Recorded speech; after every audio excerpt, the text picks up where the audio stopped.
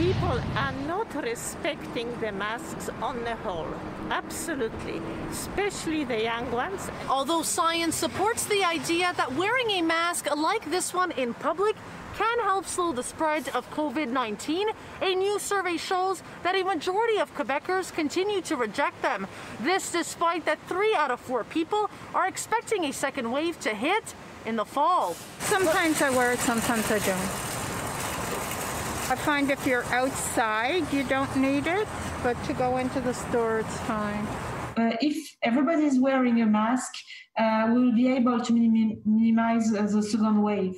So we want that. We don't want to have more uh, people uh, dying the survey conducted by the Canadian Medical Association confirms that the majority of Quebecers will follow most COVID 19 preventative measures like frequent hand washing, social distancing, and coughing into one's elbow, but less than half said they aren't wearing masks in public since the beginning of the pandemic. That number is even lower among the 18 to 24 crowd.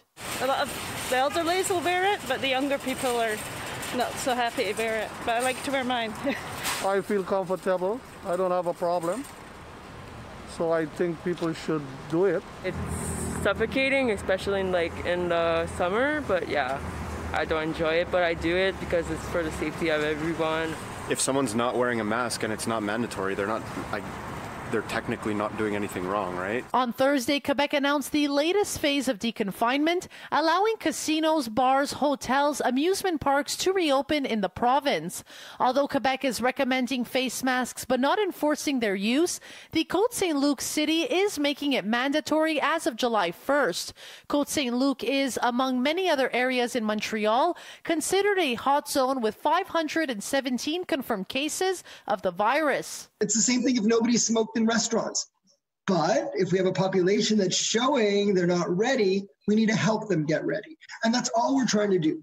And, and, and I'm pretty sure Quebec's going to follow. In Montreal, Melina Giubilaro, City News.